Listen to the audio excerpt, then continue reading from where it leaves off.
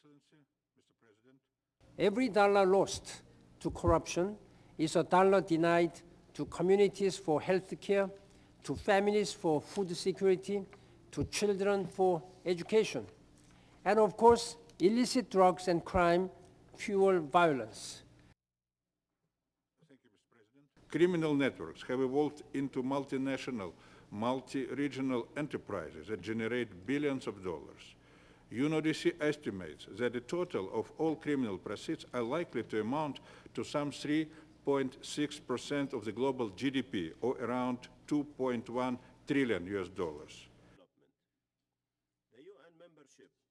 Afghanistan remains uh, the biggest producer of opiates in the world.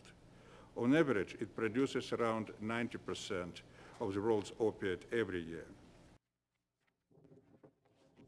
Report for uh, some countries in Central America produced by the World Bank in, 2000, in 2011 suggests that at the national level, including citizen security, law enforcement, and healthcare expenses, the costs of crime and violence are close to 8% of this country's gross domestic product on average.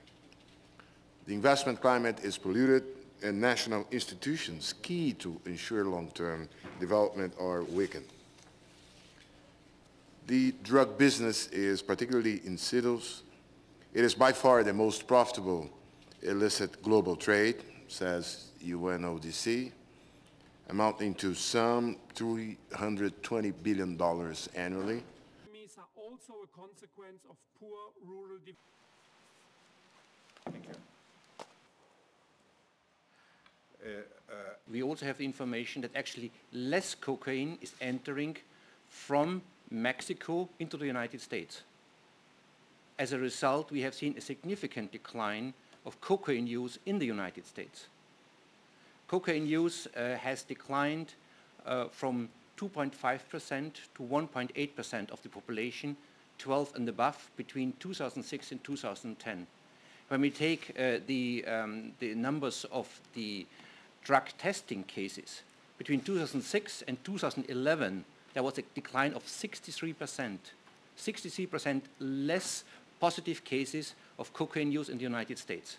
Visited uh, uh, one of the sites which, uh, but I have not seen any uh, specific executive order, decision or act of parliament that would uh, uh, really enact this, this decision into practice.